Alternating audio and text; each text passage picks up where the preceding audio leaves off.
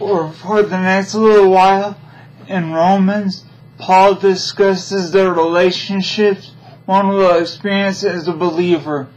Romans 12, 1 and 2 discusses the believer's relationship with the Father. Romans 12, 1 and 2 says, I beseech you therefore, brethren, by the mercies of God, that ye present your bodies a living sacrifice, holy acceptable unto God, which is your reasonable service.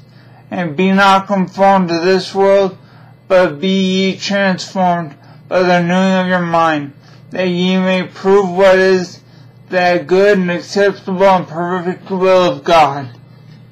That is how, not the what of the covenant relationship. Man with his God.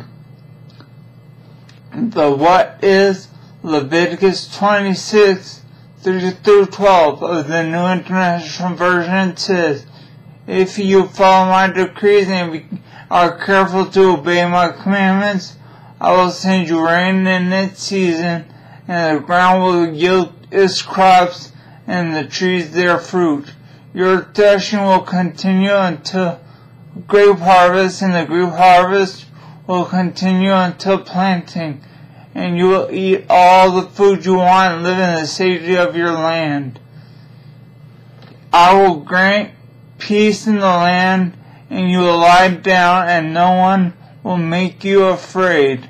I will remove wild beasts from the land, and the sword will not pass through your country. You will pursue your enemies, and they will fall by the sword before you. Fire of you, five of you will chase a hundred, and a hundred of you will chase ten thousand, and your enemies will fall by the sword before you. I will look on you with favor and make you fruitful and increase your numbers, and I will keep my covenant with you.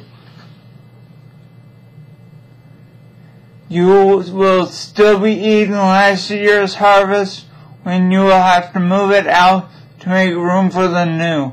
I will put my dwelling place among you, and I will not abhor you. I will walk among you and be your God, and you will be my people. And this is the covenant relationship. Obey God, and you will be his people. He will be your God. How does one obey God? How does one present himself a living sacrifice?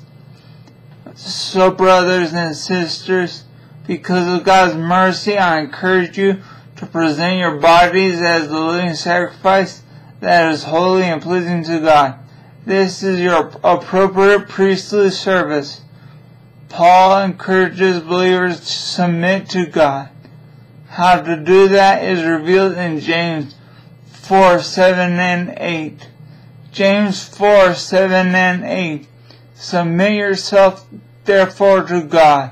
Resist the devil and he'll flee from you. Draw nigh to God and he'll draw nigh to you. Cleanse your spirits, ye sinners, and purify your hearts, ye double-minded. To submit to God, refuse to sin and repent. Submitting to God is a decision. This decision is the decision to obey God. First, decide to exercise self-control. Then pray for forgiveness. Promise never to do it again. Resisting the devil is refusing to sin. Resist the devil and he'll flee from you. Repenting is drawn nigh to God by praying and asking for forgiveness of past sins. Cleansing your hands, purifying your hearts is part of repentance. It is purposing to never repeat the sin. Do not be conformed to the patterns of this world, but be transformed by the renewing of your minds, so that you can figure out what God's will is, what is good, pleasing, and mature. The first step in obeying God is repentance. Hypocrites call this salvation. It is only the first step in the decision to obey God. The second step is to be holy. 1 Peter 1.16 says, Because it is written, Be holy, for I am holy.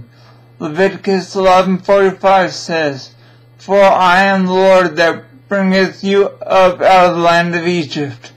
To be your God, ye shall therefore be holy, for I am holy. What does it mean to be holy? I've heard many different definitions. Pure, righteous, pious, devoted. Here in James, the Bible defines it as different, other. Proverbs 4, 14 and 15 says, Enter not into the path of the wicked, and go not in the way of evil men. Avoid it, pass not by it, turn from it, and pass away. Do not do as the ungodly. Shun their ways. This is being holy. Shun their patterns and let God change you. He will renew your mind, which will enable you to recognize His desires for your whole life. All you do is decide, and God takes over from there. The first step is yours, and the rest is up to Him. James 4 8 says, Draw nigh to God, and He will draw nigh to you. Cleanse your hands, ye sinners. Purify your hearts, ye double minded. You start it, and He'll do the rest. In conclusion, this passage is discussing a believer's relationship with God. It is the believer's responsibility to obey and God will be his God. Obey and he'll do the rest. Let's pray.